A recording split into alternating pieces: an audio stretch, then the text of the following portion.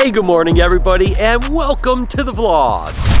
I hope the start of your day is absolutely incredible. Yesterday was almost 60 degrees outside. Today it's like 20 degrees and we had an ice storm. So uh, the good news is that means there could be some good breeding when it comes to the python. So let's get over to the shop and just see what's going on. And as always, there's always that thing that says it's more an art than a science when it comes to breeding reptiles. Basically went through almost the majority of the animals. And uh, again, no real breeding going on, anything significant. I think there was like four locks so far. So uh, it's kind of a bummer. I thought for sure sure that because of that low pressure front and the storm front and stuff like that, looks like we have a little bit of cording going on here. So I'll just go ahead and leave those guys alone. Check the last few things. But what happens sometimes is the front side of a low system is what really spurs them on. So it's the, the drop of the barometric pressure. Once the barometric pressure is actually dropped, sometimes it can go the other way. So I really thought we'd come and have 12, 15, 18 locks today. Looks like we have maybe four or five at the most. But hey, I'm not complaining. Still awesome that we have a few more. We're moving along. But uh, again, every time I think I've got things figured out,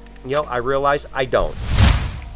How absolutely insane is that, right guys? Of course, this is just a UV or black light that's shining down on a scorpion. It's crazy how these things glow. Now, basically what's happening here is that there's a chemical, that fluorescence, that's in the hyaline layer, which is kind of in the cuticle of the actual scorpion itself. Now, the interesting thing about the hyaline layer is that this chemical is unbelievably long lasting. Not only does it fluorescence like this, but believe it or not, it can last millions millions of years, scientists actually have found scorpion fossils where the cuticle itself, that outer layer, is gone. It's just a fossil, but yet the chemical in the hyaline layer still fluorescence. How crazy is that after millions of years? I mean, that is just absolutely crazy. I look at that. I could play with this all day long. And I was actually inspired when I was out at Nerd and they showed me a blacklight flashlight just like this one right here. Now, interestingly enough, when we got back from Nerd, guess what? This just showed up. So I'm assuming that someone at Nerd sent us this, so thank you for that. We're gonna check out some stuff under blacklight. I uh -huh. hope it uh-huh. shows up on the camera because it doesn't really show up. This is kind of like your, what a cow looks like under your regular lighting, right? Mm -hmm. And then what we're gonna do is we're gonna take our UV blacklight and shine it on here. We'll shut the lights off real quick and see if we can get a look at it under the blacklight. Take a look at this. Take a look at all the oh different gosh, colors that show up. And you can see all there. sorts of spots that you can't see under the regular light. Really cool albino girl. And take a look at wow. all that crazy wow. color that pops when you look at it under the UV black light. So th this is me and Jeremy the other night at one o'clock in the morning running yeah. around the facility with this black light just shining on everything trying to see what shows up the coolest. This is your standard albino piebald ball python. So, you know, you can see a little bit of that patterning there, but it's got the white patches on it. Yeah. All right, can we hit the lights? Take a look at it under the black light. Oh my god. Whoa. what? Check that, that is out. ridiculous that you wouldn't be able to see under your regular lighting. How cool is that? So now I'm just going through it with the Look flashlight. R-I-C, Rick. Ah, this is the Rick ball. That's a Rick ball. Jeez, Morty. Wow, that's a that's a Rick ball right there. I'm gonna kind of play around with the black light a little bit with some of our snakes now after seeing what Nerd did. This is actually an Asian forest scorpion setup right here. The first one I showed you was actually an African emperor that's really cool and really tame, but I can never find this little guy. So I think I'm gonna go around and just see if I can find him with this blacklight. And this is how you would actually find them in the wild. You can take these out into the desert and they luminesce just like this. Oh, there it is. Look at that little monkey right here. Now, these guys are not nearly as friendly as the, the African emperor scorpions for sure. And the thing that's interesting is that scientists don't really know exactly why they have that fluorescence. They think that there's a chance it could potentially protect them from the sun. Maybe they use that to kind of identify with one another, or even the chances that maybe it wards off predators. I mean, who knows? Regardless, Mother Nature is incredible. And look at this guy. You see, as soon as I come near it, its claws are up. It's if I put my hand near that, it's gonna sting me for sure. But what an incredible animal! I tell you what. I, Mother Nature is amazing. So let's just find a couple other snakes or other reptiles that maybe this can be. I'm not going to get any work done, guys. I'm going to be playing with this all day. That's domestic abuse. That was domestic. it's on camera. We got, oh, this is uh, a girl she laid? Yeah, oh so this is one of our uh, Dracula line ones, I oh guess, from God. Tiki's She is so yeah. pretty. Oh my gosh, that Tiki, that Tiki, That Tiki's Dracula line and Deadpool line is amazing. Of course, we're still waiting on Deadpool, so excited that we have some more eggs from this guy. So let's see what we've got. Hope they're fertile. They look good, huh? Or well, what do you Well, think? Eh, might they don't look as good as her first one, but this one looks like it's fertile. Like you can kind of see the pink in there. Okay, yeah, the other one looks a little bit goofy, but These but are her first eggs, so they look a little bit more oh yeah, calcified. tho- well, yeah, those look really Yeah. good. Yeah, yeah. I'll set them in here anyway, and we'll see what happens with them. Yep. Uh, it's her first year, so this sometimes happens where they won't all be like Yeah. good. Well, hopefully we'll see what happens. The first two look really good. Again, unbelievable. That red line is amazing. Got some really good stuff coming up. Deadpool hopefully will be soon. Uh, fingers crossed. That's the one I'm gonna freak out about. I know. I feel like she's teasing us. She'll sit in her box and then not lay. well, hopefully we'll keep you guys posted. More gecko eggs, right? Yeah, right? so these are our, um, these are cave geckos, but they're a different locality than the the common kind that we Right. carry. Uh, I don't know their how to say their scientific name. It's really Gotcha. long. Is this, This this is the female. smaller? Yeah, they're a little bit smaller. Uh, I got the male in here. Yeah, and they don't too have all that orange in them. They're more like reticulated. They're like real busy Yeah, pattern. they don't have as yeah. They're a little bit lighter in the color, and Yeah. then their eyes are a little more orangey than red. They're really cool. I like them a lot. I'm so pretty the- sure are these we've the first eggs eggs we've here. got, or? Uh, last year we produced some. Oh, this okay, will we be our did. first eggs this year, though. Oh, okay, cool, awesome. Let's hope that they're good. Oh, there's one. This one right there. These oh, are yeah, they look huge for her, aren't Oh, they? they look monstrous for that little girl. Look at She's how so small she is. That is amazing. Oh my god, that is so cool. So, uh, and they look really fertile, really good. yeah, so these that's ones awesome. look perfect. Yeah, so it's awesome, That's so- exciting. That's super exciting. All right, listen. Say Irish wristwatch Okay. five times fast. Irish wristwatch, Irish wristwatch, Irish wish, Irish wristwatch, Irish wristwatch, Irish wristwatch. I can't do it. Irish wristwatch, Irish wristwatch, Irish Irish wristwatch. You ready? Yeah. Irish wristwatch, Irish wristwatch, Irish wristwatch, Irish wristwatch, Irish wristwatch. Wow, that's good. I think it's my listexia. Get it? 'Cause Definitely having a good time with my new toy. And it's pretty cool just walking around with this black light, looking at all of the baby ball pythons. There's some pretty amazing things. Take a look at this right here. This is actually the banana super chocolate. Oh my gosh. I thought this thing was purple and beautiful in normal light. You get the black light and whoo doggy, that thing is gorgeous. And then this one here is actually a banana Enchi Cine pinstripe.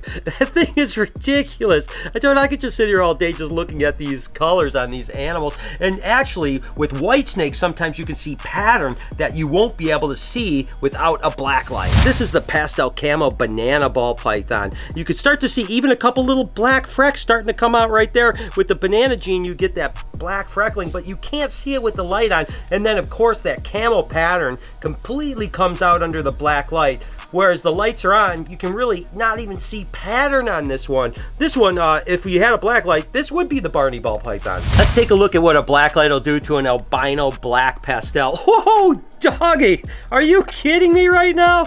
That snake is crazy. Oh my gosh. That, that that blew me away. That is absolutely ridiculous. Hope you guys know by now that we started a podcast called Checking In tonight. Actually, five o'clock ish Eastern Standard Time. We're gonna have Max Strong on, guy that's really cool with a bunch of animals like lions and all kinds of stuff. We're gonna talk to him about that. Of course, Lori and Noah will be with me too. So again, check out the link in the description. I'll pin a comment. Join us tonight live uh, for probably an hour, maybe even two hours. Who knows? I don't know. A podcast. Please subscribe over there as well. We really appreciate it. I'll see you there. Lori, how are you? Fine. Why? How's your mood? I don't know. Tired. Is this a good time to talk or no? Probably not if you want something. Well, I I want to at least talk to something. Will you be level-headed if I ask you something? Or is this just terrible time? I don't know. Do I need wine? Yeah, do, should we talk after? no, I got I've got an idea in an animal for the new reptarium that I really would like to do, but I think sloth. you, no, no, no, it's, not. it's a reptile. It's a reptarium, It's a but it is a reptarium. rep, it is a it is a reptile, and I think that you probably won't be supportive. But will you listen to me and hear me out? Is it another retic? Will you listen and hear me? No, I will not listen if it's another reticulated python. So it's not just a normal another Of reticulated python. Of course not. No, so listen to me. Listen. You know, I you know people like big snakes, and when they come in, it's very wowing to, for people to mm-hmm. have big snakes. Okay. Now we obviously we have some really nice. So we've got Perdita, we've got some other things like that, but we don't have a big retic that's nice. A big a big retic, a nice big retic, right? We've got Lucy, which is awesome, but no one can play with her. And obviously Daisy isn't great about handling and stuff like that because she just hates to be handled.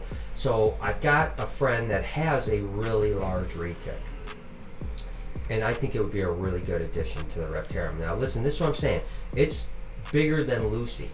Larger than Lucy. It's just a, a pretty, it's called a blonde. It's a pretty normalish looking retic, but like a lighter. And, but it's like 21 foot and over 200 pounds. That and doesn't I've make actually. any sense. That's What? not an animal you could even bring out anyway. No, It's you could big. bring it out. You okay, could totally so four, five, seven people at a time No, bring like it out. no, like, like, that's two people could bring it out, and then people could be around it. It would be really cool. I just think that would be a showstopper and something that would be nice to add to the Reptarium. Will you consider it? Where's that gonna go? So this is what I was thinking. I was going to probably move Sunrise to the new place because she's got a really large enclosure right now, and we've got some large enclosures. That way we can, you know, draw people to the new section, so we, you know, we can kind of dissipate, and then we have that large enclosure that that's almost the size of Lucy's enclosure that we could put this big snake in. And it would be easy access, be right next to Lucy, be really easy to access it. It's lower on the lower level, and it's just a huge snake. I don't want you. You don't have to give me an answer. Just just think about it, okay? Okay. Are, are we okay? So the answer's not no yet, right? I'm yeah. I'm not saying anything. All right. So I just wanted to bring it up to you. We'll talk more later. All right.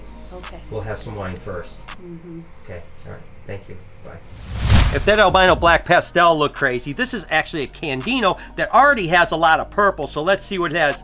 Oh, interestingly enough, the purple kind of turns whitish looking. This one uh, was underwhelming, whereas the other one was overwhelming. I really thought that the purple in these guys would super pop. Uh, weirdly enough, it kind of turns more of a whitish color, but uh, still nonetheless, beautiful pattern. The albinos definitely pop with the black light. I mentioned earlier that the leucistics under black light, you can actually see some pattern to it. Now you can certainly see this is a pure white snake, but look at all of that kind of freckling that's happening there. That means there's some other mutations in this. This isn't just a super fire. This is definitely a super fire and something else. Looks like it might even be like a pewter, like a pastel and a cinnamon. You can see that patterning makes it really cool. And then look at that dot right there on the side. Really interesting how, again, under black light, these guys can just shine and you can see right through to the pattern. And then here's another blue-eyed Lucy, but look at that. Oh my gosh, there is a lot of pattern on that. There's dorsal kind of dotting, dashing, and then these white splotches in it. No idea what the mutation is here, but certainly there's something else besides just blue-eyed leucistic because that's got a tremendous amount of color. And that's the thing, if you ever have a blue-eyed Lucy and you want to know if there's other genetics, oftentimes you could just take a black light like this and see. So let's say you had a blue-eyed leucistic pinstripe, you could see the pinstripe pattern you'd know. In this case, not sure exactly what the mutation is, but certainly something else is going on here. I'll Tell you what, you probably saved a bunch of money not getting them at Disneyland, right? They don't sell them anymore. Really? What? No, no. I guess most cars Oh, don't come with antennas. Oh, So now they don't sell them. So I found them on yeah, that's though. I true. think this guy was cute too. Because I it's don't the what 40s anymore. Yeah, 1930. Jory guy lost her in the car wash last No. Oh, Maybe she went back down the drain and is in the ocean again. She she was ready to retire. She was missing an eye. I'm sure. A little rough, so I'm sure. It's been a couple years. That's awesome. I want to go to Disney World. I've literally been down here for hours. I think I've looked at every single snake in all of these racks, just kind of playing with this. It's crazy. This is a pastel, vanilla, bamboo, woma. And look at the colors coming through on that thing. Again, I'm kind of surprised. There's been some animals that I've looked at that I thought were going to be really cool. I was a little disappointed. And then other animals like this that are unbelievable. I mean, just all the pattern and contrast that you don't see under normal light. Uh, again, eventually I'm going to have to get some work done today, guys, but uh, I'm having a blast down here. I'm going to try this actually as a Candino that has a little bit more purple coming through already, and oh my gosh, yeah. That's a lot different than that first one that just kind of turned white, isn't it? Wow, and look at the head pattern on it too. Oh my gosh, that is crazy. Wow, that now that is a purple snake right there. That was what I was expecting with the first one we did, but it just kind of turned white, whereas this one is unbelievably purple. Oh my gosh, if I could just make a snake that looked like this all the time. Back to another blue-eyed Lucy, but this is a Super Russo, so I'm anxious to see, oh my gosh, I was really anxious to see what the pattern is, and there's a lot of it with these Super Russos. Again, this is a pure white snake under a normal light. It's just crazy that when you just have a different spectrum, how it can change. You can see all of that pattern in it. Wow. I'm blown away. I'm, I'm having a blast, man. All right, guys. Uh, I definitely do have to get back to work, but this was so much fun. I don't know who sent this. I think it was the guys from Nerd, so thank you if you guys did. And if it wasn't, whoever did, uh, this is the best gift ever. Uh, if you ever have someone on your gift list that you want to get something for, a black light like this will keep them occupied forever. So, uh, okay, I got to get back to work. Let me know what you guys think some crazy stuff with that black light. If you enjoyed this video, can you subscribe to the podcast channel right over here? Here's a playlist that you can watch a whole bunch of videos if you so choose. Over here, you can hit that subscribe button. Please turn the post notifications on. Remember to have a wonderful day and be kind to someone. I promise I'll see you guys tomorrow.